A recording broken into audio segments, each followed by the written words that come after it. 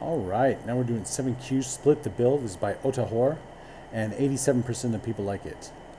Uh, it's tricky keeping track of who is owed what when spending money in a group. We're going to write a function to balance the books. The function should take one parameter, an object with two or more name value pairs, which represent the members of the group and the amount each spent. Uh, the function should return an object with the same name showing how much money the member should pay or receive.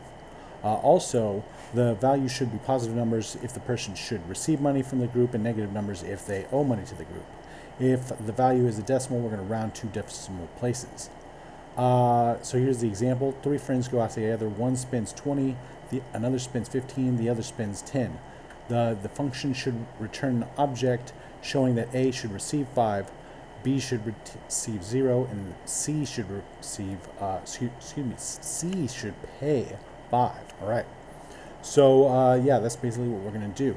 So right now we're going to declare some variables. We're going to say uh, let total equals 0. And we're also going to let uh, count equals 0. All right. So the total is going to be the total amount of uh, money, and the count is going to be how many people are in the group. Now we're going to use a for in statement.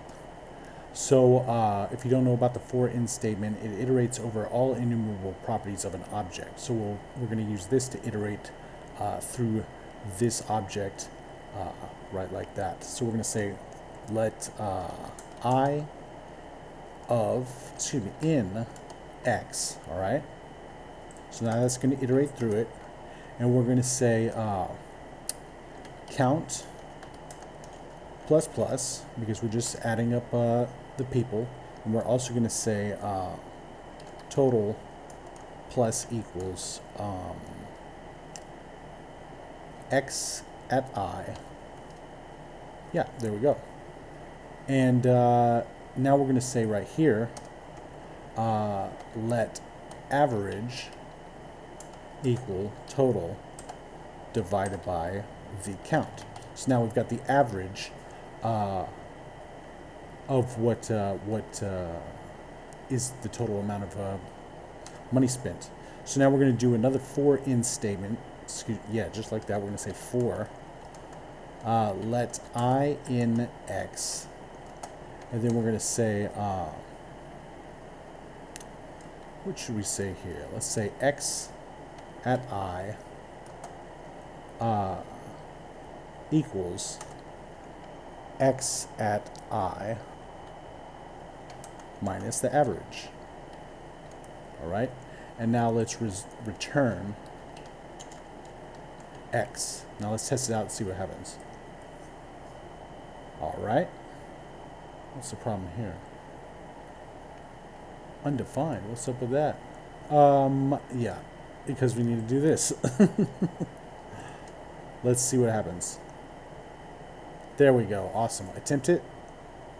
Up. Yeah. See, we have to do this part here. If you see this long uh, number after the decimal place, we need to round it two decimal places. So if you don't know how to do this, uh, or if you don't know about the toFixed method, basically the toFixed method formats a number using fixed point notation. So it's going to send it uh, it's going to make all these uh, numbers, but it, as you can see, it's going to make them strings with, with uh, two decimal places. And as you see here, the return value is a string representing the given number. So to combat that, we're going to use this unary plus, op plus operator, which when it uh, precedes its operand and evaluates... Anyway, the unary plus operator precedes its operand and it evaluates to its operand, but attempts to convert it to a number if it isn't already. So it's going to attempt to convert it to a number, right? So that's what we're going to do here. We're going to say, we're going to wrap this up in parentheses. And we're going to say dot two fixed, whoops, fixed two. And then in front of this, we're going to say plus. Now let's test it out.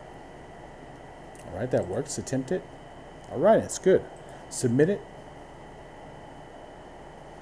All right, very much like this one. And it's pretty much just like this one right here. Uh, we do the unary plus with the 2 fix 2 instead of the math the round uh, times 100 divided by 100.